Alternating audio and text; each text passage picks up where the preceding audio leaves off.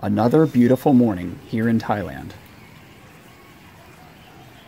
Time to head downstairs and grab some breakfast and a nice warm cup of coffee. This is an interesting breakfast item. Some sort of rice paste wrapped in leaves. And in this bowl, we have steaming hot shrimp and rice soup. Very tasty and nutritious. This is a very relaxing hotel. I finally feel like I'm on vacation.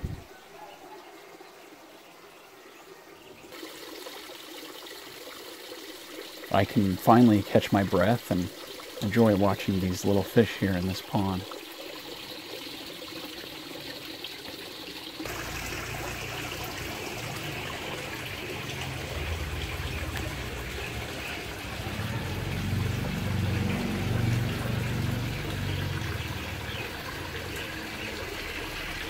What kind of fruit are these growing on that tree?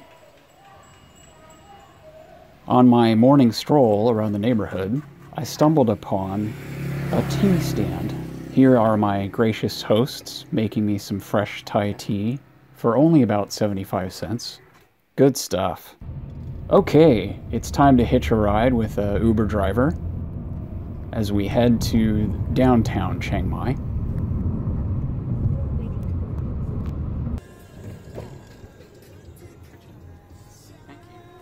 This appears to be a quirky little city. It's very busy, but very ramshackle, but not as ominous as Bangkok.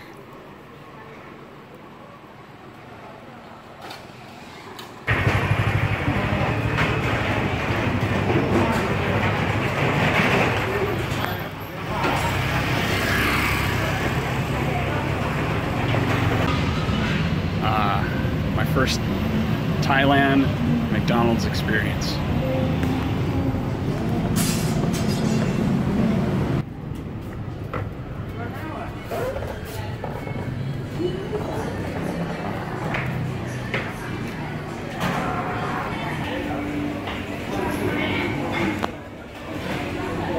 Oh, 29 baht.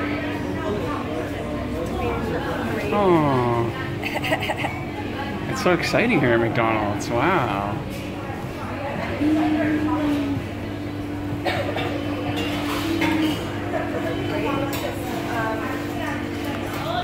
This is actually a spinach pie. Surprisingly good. Spinach and corn pie. I like it. Heading back out onto the street, we meet this lady. She's selling offerings for the Buddha. You place these little flowery decorations on the Buddha statues, which are scattered around town. Wow, that's a beautiful looking resort.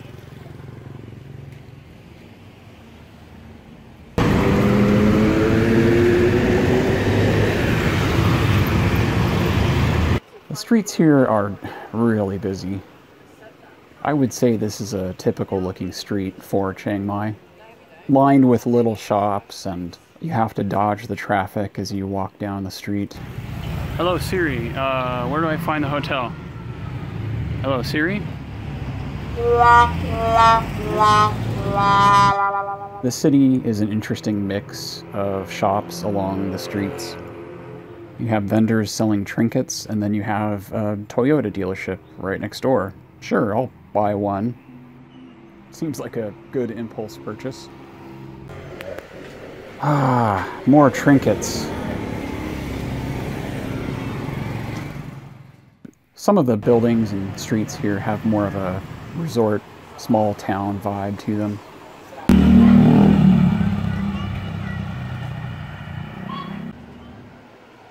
Check out this cute little car. I haven't seen anything like that in America.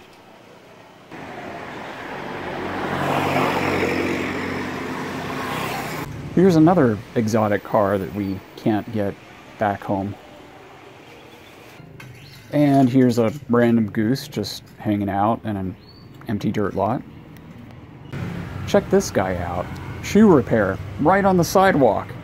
How convenient is this? As the day turned into night, we stumbled upon an indoor Western style shopping mall. This place is massive. Six floors of shopping, including a basement floor. And the parking garage is, it's a zoo.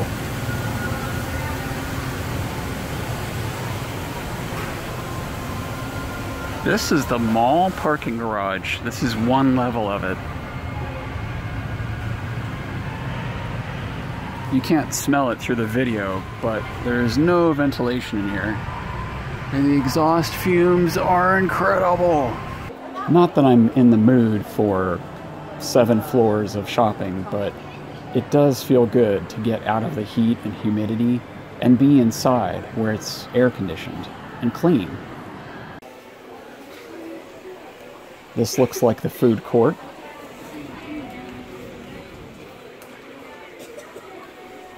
And this looks like it's going to be my dinner. Yum.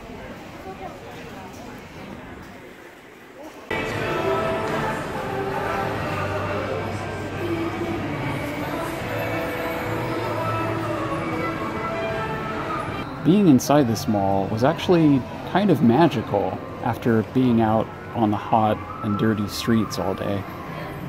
Everything here is so clean and new and air conditioned. It was very refreshing.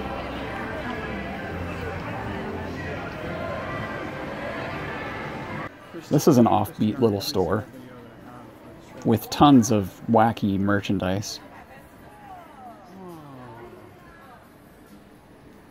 Pillows in the shape of large coins. One pound, ten pounds for one pound.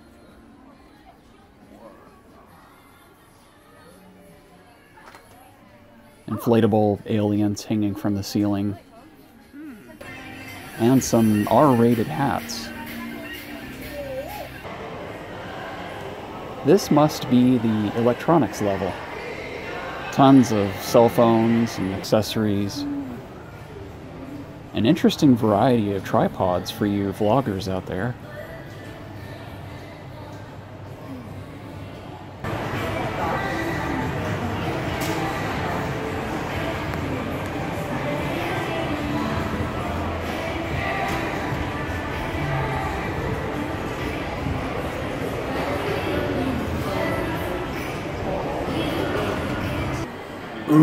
Daiso store.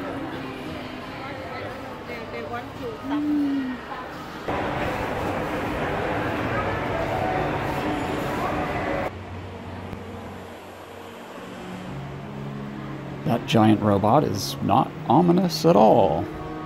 Stepping outside of the mall, I discover there's a free outdoor concert.